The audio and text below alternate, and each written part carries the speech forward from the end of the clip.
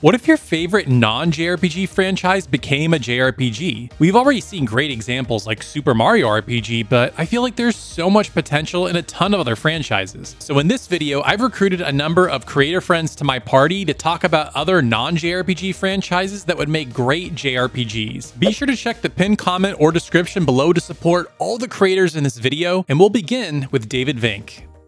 Hi Taylor, thank you so much for having me on your channel. This is David over at the channel DavidVinc, and the game series that I think really most needs an RPG adaptation is Kirby's Adventure. I've had a long and storied history with this series, first getting it for like, oh, maybe upon my 12th or so birthday for the NES, and it was a brand new series then, and I have loved it ever since. It is just so cute so light-hearted, so fun. It doesn't take itself seriously, which is why I think that it would work so well as a JRPG. Imagine Kirby going around gaining new powers by defeating bosses, almost in like a blue magic type style. He can also get different party members, like maybe King Dedede, or Whispy Woods, or the Waddle Dees, all the little enemies in there, just like kind of how Mario has these iconic enemies, Kirby does too and it's just so fantastic, and I would just love to see it as an RPG series. It's been around for so long, and I am shocked that there really hasn't been an adaptation of it yet. Thank you again, Taylor, and everybody, have a good one. Hey everybody, it's Femtrooper, and thank you, Taylor, for having me on to talk about a non JRPG franchise that I think would make a great JRPG. For me, that's Donkey Kong Country, hands down. We saw it with Super Mario. They did Super Mario RPG and then the Paper Mario series, the Mario and Luigi series. Clearly, you can take platformers and make them into JRPGs easily, and Donkey Kong Country is no exception. Hands down, it would make a phenomenal JRPG. Just think of the cast of characters and who you would have in your party. Like, it would be fantastic you like Donkey Kong, Diddy Kong, but then you could maybe have like really weird ones. Like you could have like Candy Kong in there, or Dixie, a Funky Kong. Like there, there are so many you can name. Like it would be, it would be awesome. Then you've got the music. Uh, you could get David Wise to do the music. Those are always like phenomenal. Some of the best scores in in video game history. Easily I would oh my god like it would just be so good. The enemies would be the Kremlings you'd have like boss battle uh, some amazing JRPG fight against King K. Rool. the environments would be great. They'd all be like jungly. There'd be caves mines. There'd be like a mine cart thing. Oh man. I just know it would be great. This would be one of the best JRPGs I would absolutely love it. I'm actually sad just saying things about it, just talking to you guys about it right now makes me sad that we don't have it. But a girl can dream, and I think maybe one day, maybe, we'll actually get something like that. Who knows? So that's my pick. I think it would be awesome. I think it would be like you could, I don't know, action, turn based, whatever, but you could definitely make a JRPG out of Donkey Kong Country like easily. Like it would be so, so good. So thank you again, Taylor, for having me on, and I'll see you guys later. Oh, hello there, minions. It's me, Claptrap. I'm here on behalf of that weird Scottish person chicken fillets. My game Borderlands would be really fantastic as one of those games that the gaming shelf talks about so much like it's going out of fashion. Us Pandora people are no stranger to mixing it with our games. I mean, look at Tales of the Borderlands God, it was an awesome time. Recently in Tiny Tina's Wonderland, we even had an overworld map. So let's go one step further. Let's change our loot and shooting formula to turn-based combat. Imagine you could give me a big sword and spiky blood hair that's original! We already have a mass amount of bloodthirsty characters to choose from. But most importantly, you have me minion, me Claptrap. We can go defeat those disgusting stairs together. Shall we also add in some of those, those waifus? I think we should, because reasons. I know what's missing the victory fanfare, the end of a battle. We can all dance together. Do da do do da dum dee do do do. And then when it comes out, everyone can leave Taylor the Edge all comment. I hope it comes out on Nintendo Switch. Whoa, whoa, whoa, hold on. Did I say you could talk on my behalf? Sorry, sir. No, I didn't. Eh? Get out. I am sorry. yeah, Borderlands was the game that would be great as a JRPG. yes, Borderlands would be a fantastic JRPG, the lore is there, and the Borderlands series is no stranger to mixing it up and just generally taking the mick out of things. But what I want to know is, what are your thoughts and would this be a good JRPG or would it be rubbish? Let Taylor and myself know down in the comments and please remember to like, share and subscribe to Taylor as well. But until next time, tatty bye. And sorry for Claptrap. What kind of a name is Chicken Fillets anyway? Hello friends of the gaming shelf, it's Miss Bubbles. Thank you for having me. So the franchise that kept coming to my mind was Fallout. Hear me out. Fallout 1 and 2 had turn-based combat, so let's take that instead of an action combat and we can use the VATS system from Fallout 3, New Vegas and 4 to give your character those critical hit chances. Plus Fallout makes use of a ton of items, so in combat, you'll have to strategize if you're going to take your turn to hit the enemy or use an item like Buffjet, Mentats or Radaway instead. Also the special skill tree will help you determine what kind of strengths and weaknesses your character is gonna have and that will make you, you know, like think a little bit about how are you gonna strategize and level up your character. Then let's have an open world just like Fallout does. I love roaming around, finding new side quests, and I would love to see more JRPGs take that route. Plus, we're going to have an anime style here in a post-apocalyptic world, so both enemies and allies will look pretty cool. I mean, how badass Nick Valentine Strong and Danse would look like with an anime character design, plus all the ghouls, super mutants, and deathclaws, I think that would be pretty awesome. But here's the twist, and this is based on Taylor's description of what a JRPG would look like. Definitely check out that video because it helped me out a lot. He said that JRPGs are usually more linear, so as you know, Fallout games have multiple endings and really your choices will make a big difference. Maybe this time around we just have one linear story. I don't want that, but I mean, to make it a JRPG, maybe we should do that. Also, let's keep the settlement building from Fallout 4, but instead of having so many of them, let's have just one and have it act like a hub where your companions just hang out and build better friendships, kind of like Persona 5. However, it would be nice if we can have our companions show up in the world as we move because most of the JRPGs that I see, they hide your companions. Atelier Games and Tales of Arise come to the top of my head when I think of that. So I don't know about you, but in such a harsh environment like the ones in Fallout, seeing my allies makes me feel safer. I could go on and on about how awesome Fallout would be as a JRPG, but I think I've said enough. Thank you Taylor for having me and I hope to see you guys on my channel.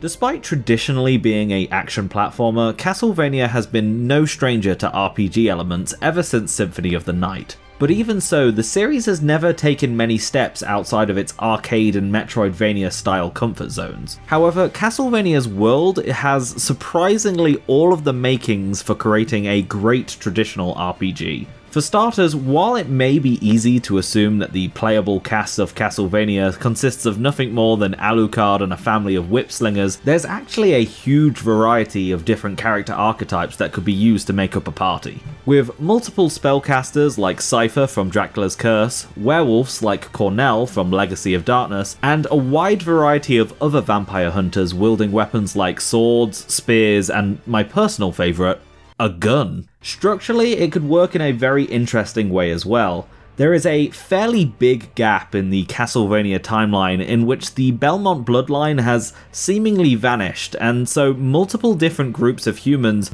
all set out to devise countermeasures to Dracula's inevitable return. And using this point in time would be a great way of naturally implementing a large group of weaker vampire hunters who all need to work together to take on the Count. The first act being used to gather and introduce the party, with the second dedicated to fleshing out said party members, whilst also discovering or assembling some sort of tool to help kill Dracula, with the final act being one super dungeon being Castlevania itself. With the typical Metroidvania openness being applied to an RPG, now that you have a well equipped high level party, tackling each section in almost any order you choose as you cut your way through the Castlevania bestiary. Hi, this is Emily from Orbalology, and the franchise that I think would make a great JRPG is the LEGO franchise. Now, LEGO has made plenty of games over the years in multiple genres, from sports games like LEGO Soccer to park simulator games like Legoland, and the more well-known platformer collectathons. But what they haven't done is a traditional JRPG. Now, they've done a RPG-like mobile game in the past called Lego Legacy. That's more of a team forming sort of game that is able to upgrade their skills with various things they could build. The more traditional JRPG that I think Lego could potentially make is one that integrates an interesting story, maybe something similar to what they did with Lego Island back in the day. And maybe this could take in some sort of fantasy Legoland with multiple different continents to represent the various Lego sets they've had over the years make it into a more story-based progression where characters can be customized using different body parts as a way to build their stats or upgrade their skills. So for example, if a character wanted to use magic, they could don part of a wizard's robe and hat. If they also wanted to increase their speed or something, they could take legs from say one of the sports sets and kind of build a custom character to suit some sort of class need. And I was a little torn whether or not this would make a good action RPG or a more traditional turn-based RPG, but I think what might be interesting and a little different for the franchise is to do a strategy RPG, which would be perfect given how grid-like the bases are for um, the Lego sets. But I think the possibilities are endless of what this JRPG can look like and what sort of characters and story narrative they could shape. And they could also borrow from so many different pop culture IPs that they've collaborated with in the past. So I think a game like that would be fun, especially if they weave in some of the humor we see in a lot of the Lego games to make it just a more lighthearted but fun JRPG experience. What's up everyone? Alex here. When Taylor asked me what non JRPG franchises would make great JRPGs, I immediately started thinking about the games I played on the DS. Games like Professor Layton, which I then immediately remembered had London Life, which technically isn't a JRPG, but you can kind of imagine it being as such. And so I looked onward and thought, who would be the right person for the job? And that's when it hit me Phoenix Wright. We've seen him use his lawyering skills in Ultimate Marvel vs. Capcom 3 to deal massive courtroom damage onto his enemies. We've seen him tackle cases with Professor Layton by his side. But if there's any one thing that demonstrates why the Ace Attorney series would be great JRPGs, it would be the series' appearance in Project X Zone 2, where Phoenix Wright and Maya Fey act as support characters. I can imagine the gameplay loop being similar to that of Earthbound, where you go from one modern locale to another, and Phoenix and company use their lawyering skills to reason away their enemies, gaining much needed experience and levels to finally battle it out in the courtroom. And that part isn't so difficult to translate to JRPGs, because even though these battles are done in a visual novel style in the original games, the sound effects and adaptive music give the impression of forward momentum and action. So every single piece needed to turn this into a JRPG are already there. So Capcom, if you're watching this, greenlight a Phoenix Wright JRPG. I would totally buy it if you turned this into a reality. Hi guys, TKN here and thanks a bunch to Taylor for letting me take part in a very interesting topic. Now in terms of choosing a series that could excel as a JRPG, I feel that said series must have a couple of core elements. First of all, it must have established and rich lore with the opportunity to expand on it, and secondly, it must have the scope to allow for enjoyable gameplay mechanics. And with those in mind, I chose to go with the Star Fox franchise. Now the series hasn't had a recognised new release since the disaster of Star Fox Zero. I'm excluding Star Fox 2 here since that was already developed in 1995, it just never released. But it has everything I believe can work in the genre should it make the shift. Initially it has the established lore that works around it, with a host of recognisable characters, not to mention the setting of the Lylat system is near on limitless in terms of potential. There's just so many avenues the story could steer. Secondly, in terms of gameplay, I personally don't have a preference for whether it could be action or turn-based, but think of all the potential that is already there and how it could enrich the gameplay. Arwings, Landmasters, the Blue Marines, so many vehicles to change up the style, and in a way we've already seen what a potential action RPG could look like with 2002's Star Fox Adventures. While that gameplay is more akin to Zelda, it would be fairly simple you would think to adapt to a standard action-based approach. It'll most likely never happen, and to be honest I think Nintendo lost faith in Star Fox after Zero, but if it ever did come back as a JRPG, I'd be all over it. Hey guys, Xygor here, and I wanted to contribute to this video by telling you the non-JRPG game that I think deserves to be made into a JRPG. And in this case, I should say series, because when Taylor asked me this question, I thought of Ninja Gaiden for the NES, so we're taking it back. But Ninja Gaiden is just packed with awesome lore. It was one of the first games with those kind of animated storyline sequences in between the stages, with lots of great lore, starting from the first one forward. And there's tons of subject matter, but for me, the best parts of the story were the, in the first three games on the NES. So you could have the first one being about Ryu tracking down the mysteries of his father Ken. Um, the second one, you could talk about Ashtar and the Dark Sword. Third one, you can talk about Foster, that agent. But there's tons of lore that could be packed into this, and it's the perfect series that could be made into an RPG. There's already characters, there's arcs that are known to people that know about the canon, and it's really interesting and dark. Exactly the kind of RPG I would like. So that's my answer, and I'm sticking to it a non-JRPG franchise that would make a great JRPG. This is such a fun topic and I'm so looking forward to hearing what the other people are saying. But I thought Super Smash Brothers. Imagine collecting like a party with Mario, Zelda, Donkey Kong, Kirby, Pikachu, I mean Samus Aran. And I would like to see all of these characters together in a JRPG where you are traversing from town to town, maybe Genshin Impact style, maybe even tiny bit like a Xenoblade game, or maybe just like how Paper Mario was doing it. You collect party members and you go from town to town and you have dungeons, you have stuff to do, you have side quests and it could work. Imagine having turn-based combat with like a party of Zelda being the healer, Pikachu being DPS, Donkey Kong the tank. Maybe the story could take you to like an actual Animal Crossing village. Or maybe you could go through portals and visit suddenly the Donkey Kong jungle or the Pokemon universe. Or this is also how Disney Dreamlight Valley did it, if you guys have played that. There are portals to every world that could actually work, guys. Make Super Smash Bros. a JRPG. Now, that was my contribution. Thank you, The Gaming Shelf, for inviting me.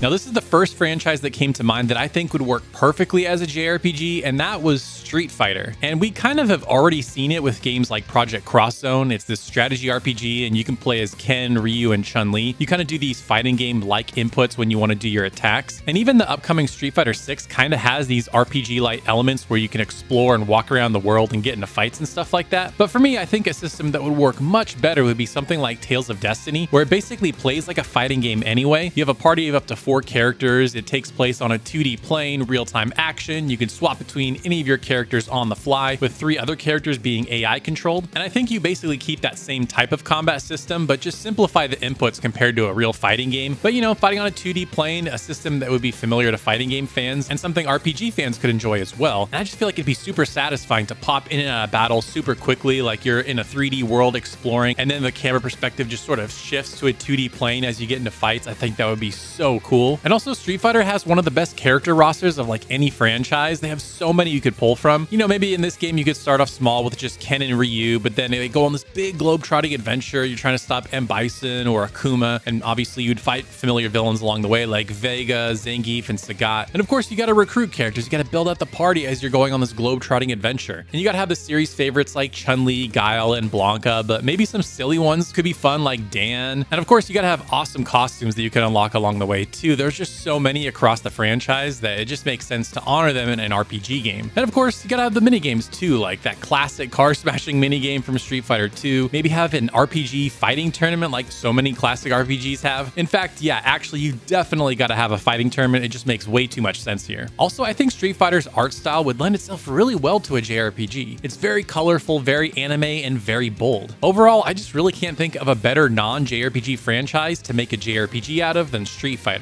Now, if you want to watch another great collab with a lot of the same people from this video, be sure to check out this one right here. And special thanks to Reset Switch, Tyler Kuzawa, and the Miyazaki Man for supporting me over on Patreon. To get exclusive videos and other cool perks, consider supporting me over on patreon.com slash thegamingshelf. Thank you so much for watching, and we'll see you next time.